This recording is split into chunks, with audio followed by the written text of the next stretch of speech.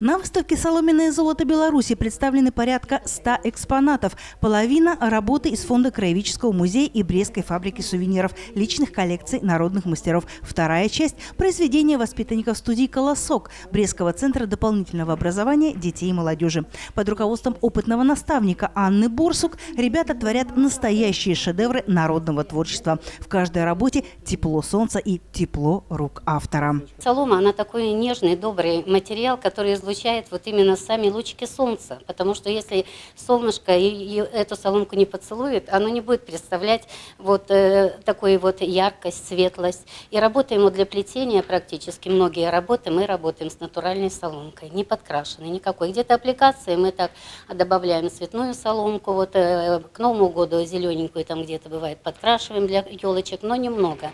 Я детей ориентирую прежде всего на натуральный цвет соломы. Соломенное золото Беларуси экспозиция в своем роде уникальная. Рядом с произведениями таких признанных мастеров соломоплетения, как пружанская художница Вера Гаврилюк, кабринчанка Юлия Пивоваревич и Наталья Демчук из Каменца – работы юных студийцев.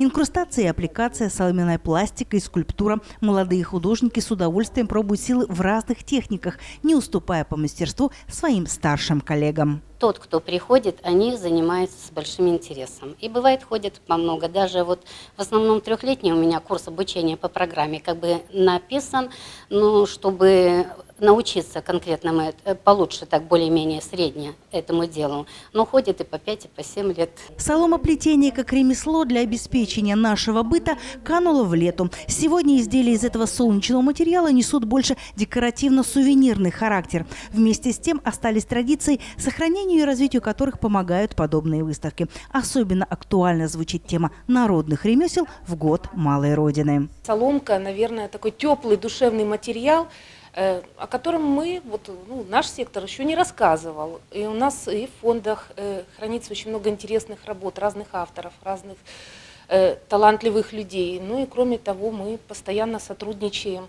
э, с Центром дополнительного образования детей и молодежи, и поэтому выставка нам позволила представить работы как профессиональных мастеров, так и детей, ну, на мой взгляд, эти работы не менее профессиональны. Окунуться в атмосферу осеннего солнца и напитаться теплом соломенного золота можно до 9 декабря в отделе «Природа и экология» областного краеведческого музея. Ирина Альшова, Андрей Щерба, Дмитрий Лазарчук, телекомпания «Бук ТВ».